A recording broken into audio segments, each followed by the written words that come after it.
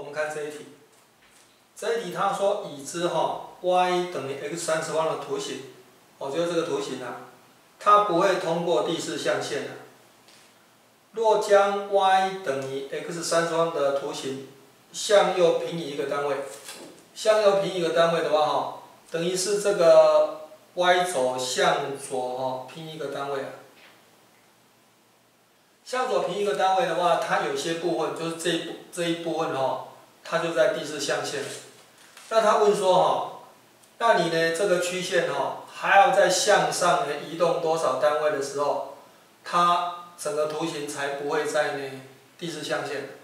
那我就将这一部分哈，把它呢远离呢第四象限就可以了。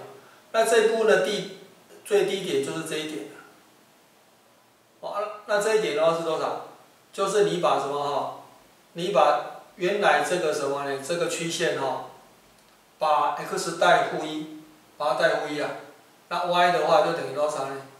负一的三次方等于负一嘛。也就是说哈，这一点的坐标哈，这个坐标是负一啊。哦，这个没有画好啊，应该把它画的陡一点啊，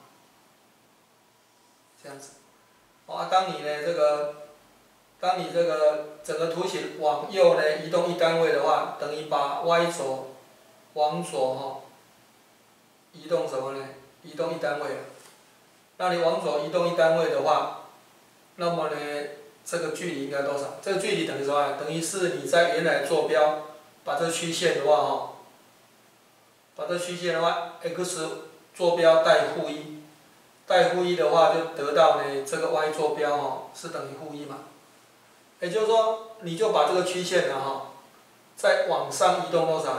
移动一个单位，这一部分的话就跑到什么呢？跑到那个，呃，就等于说，整个图形就跑上去了。那跑上去了以后的话哈，这个的话这一部分的话就跑到第一象限去了。所以的话呢，你要往上移动多少单位呢？移动呢一单位，答案就是一单位。